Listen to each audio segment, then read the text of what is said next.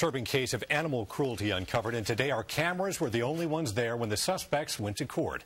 WCNC's Melissa Martin is in our Gaston County mobile newsroom tonight, live now with the case some are calling the worst they've ever seen. Melissa? You're exactly right, Dave. And the two suspects appeared side by side here in the Gaston County Courthouse.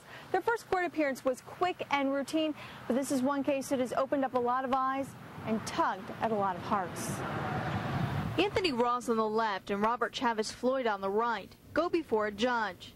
And ignoring our cameras. A lot of people want to know why the dogs weren't fed. They're facing felony animal cruelty charges after investigators found dead dogs chained up. But when it came in, its mouth was full of dirt as if it was eating dirt. The poor little thing was so hungry. This one here in such bad condition, we saw her moments before she was euthanized. These were deplorable acts of cruelty. The four that are still alive are at animal control, in pretty good shape considering officers found no food or water. Without question, it's one of the most severe cases that I have witnessed. They didn't witness any dog fighting, but that's the concern. Animal control has seen it before. What we're more apt to find are these spur of the moment, maybe less organized type street level, neighborhood type things. But dog fighting is a tough case to prove.